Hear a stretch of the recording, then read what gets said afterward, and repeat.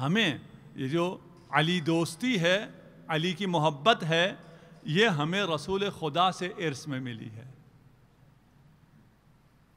آخری حدیث آپ کی زحمت تمام۔ علی فی السماء کالشمسی بن نہار امیر امیر المؤمنین کے بارے میں رسول خدا فرما رہے ہیں کہ علی کی مثال آسمانوں میں، آسمان کون سے ہیں؟ اقالیم السبع۔ ابھی پڑھا ہے۔ لو اعطی تو اقالیم اگر سات آسمان اور اس کے نیچے جو کچھ ہوتا، وہ سب مجھے ملتا۔ وہ کیا ہے؟ وہ کیا ہے؟ رسالت میں آپ کر رہے ہیں۔ ان اقالیم السبع میں آسمان، ان آسمانوں میں علی خورشید عالم تاب ہے۔ یعنی آپ علی کی فضیلت کو تو درک کر سکتے ہی نہیں، آپ تو وہاں ہیں ہی نہیں۔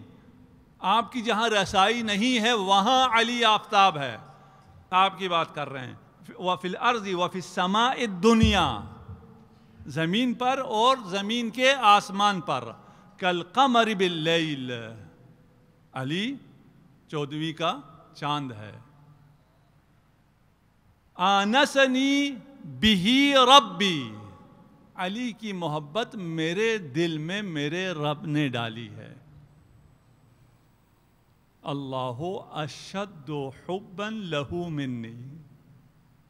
خدا مجھ سے بہت زیادہ علی سے محبت کرتا ہے۔ آنسنی آنسنی بھی اور رب بھی میرے رب نے علی کی محبت میرے دل میں ڈالی ہے۔ فسأل تو ربی ان لا یغبزہ قبلی۔ اتنی محبت ہے، میں نے کہا کہ مجھے میرے ہوتے ہوئے علی کو موت نہ دینا، میں محمد برداشت نہیں کر سکوں گا۔ اور میں نے دعا کی کہ اس شہادت کے عاشق فرد کو شہادت کی موت دینا۔ علی منی و انا من صحیح بخاری نے چار حدیثیں علی کے فضائل میں نقل کی ہیں، ان میں سے ایک اس کی شبی ہے۔ علی، میں علی سے ہوں اور علی مجھ سے ہے۔ حب علی نعمہ۔ علی نے کہا نا کہ یہ فنا ہونے والی نعمتوں کو میں رہنے والی نعمتوں پہ کیسے ترجیح دے سکتا ہوں؟ کون سی نعمت ہے جو ختم نہیں ہوگی؟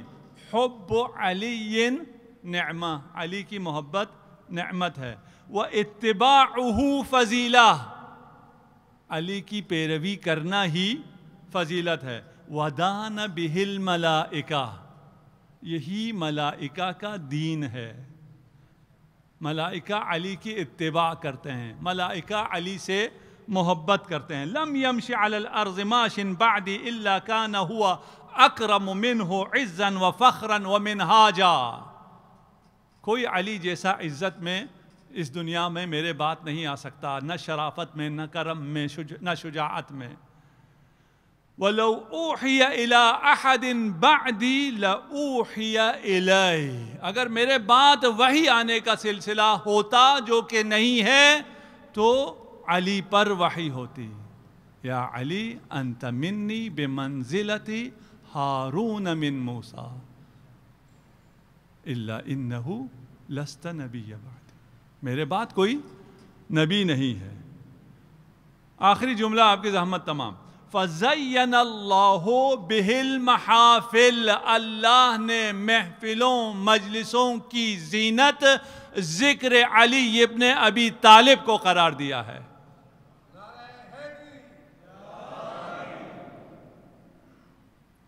ہم علی کا ذکر کرتے ہیں تو اس ذکر کو اللہ نے محفلوں کی زینت بنایا ہے۔